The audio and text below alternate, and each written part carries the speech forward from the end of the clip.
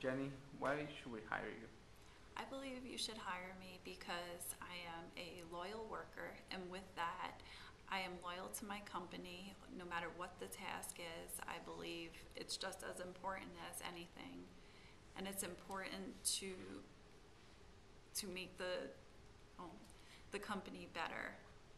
I am also very honest, meaning I won't steal any company time or anything that. In the past, when I have felt if I haven't been productive enough, I have voluntarily worked late.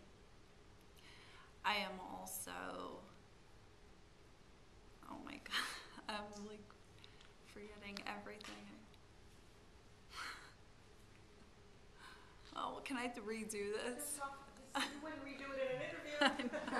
I know, I can't believe I just blanked out. Oh my god. Stop it and then start it over. You guys, you wouldn't start over in an interview. I know.